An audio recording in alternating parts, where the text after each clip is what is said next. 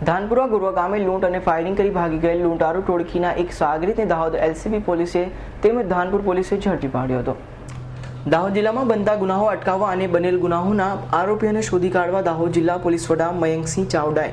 લીમખેડા ડિવિઝનના ડીવાયએસપી બળદેવસિંહ દેસાઈની સૂચના અને માર્ગદર્શન આપતા ડીવાયએસપી બળદેવભાઈ દેસાઈએ દાહોદ એલસીબી ધાનપુર પોલીસ મથકના પોલીસ ઇન્સ્પેક્ટર પેરોલ ફ્લો સ્કોડને સીધું માર્ગદર્શન આપી દાહોદ જિલ્લાના ધાનપુર તાલુકાના બોરવા ગામે લૂંટ કરી ફાયરિંગ કરી.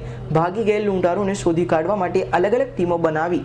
ગુજરાતભરમાં મજૂરી કામેથી પરત ફરતા વ્યક્તિઓ ઉપર પૂરેપૂરી નિગરાની રાખતા બાતમી મળી હતી કે ઉડાર ગામે રહેતો બળવંત ધુડિયા, મોહનિયા, આ લૂંટ અને ફાયરિંગમાં સંડોવાયેલો હોય અને હાલ આ બળવંત નડુ ચોકડી પાસે ઉભોયેલ હોવાની બાતમી મળતા ધાનપુર પોલીસ મથકના police inspector K K Rajput LCB police inspector H L Sangada parole furlough સ્કોડનો staff સાથે રાખી નળુ ચોકડી પર વોચ ગોઠવી તપાસ કરતા બતાવેલ વર્ણનવાલો ઈસમ પોલીસને જોઈ ભાગવાની કોશિશ કરતા.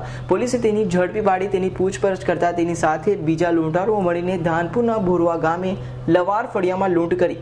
દેશી તમંચા વડે ફાયરિંગ કરવાની કબૂલાત કરી હતી.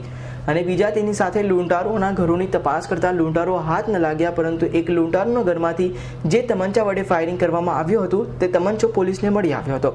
જો કે ભોરવા ગામે લૂંટ કરી ફાયરિંગ કરતા પાંચ જેટલા ઈસમોને ઈજાઓ પહોંચી હતી. એક કિશોર સુરેશનું મોત થયું હતું, જેને લઈને દાહોદ જિલ્લાનો પોલીસ કાફલો ઘટના સ્થળે દોડી જઈ. આ લૂંટારોને શોધી કાઢવા માટેની તજવીજ હાથ ધરાઈ હતી, જેમાંથી આ એક લૂંટારો ઝડપાયો છે. આ બળવંતને કોર્ટમાં રજૂ કરી તેને રિમાન્ડ મેળવી. તેની વધુ પૂછપરછ હાથ ધરાય તો અન્ય કેટલીક જગ્યાએ આ પ્રકારે લૂંટ કરી છે, તે અંગેનું ભેદ ખુલી શકે તેવું જણાય છે. Iqbal શેખનો report S nine news, Shehera.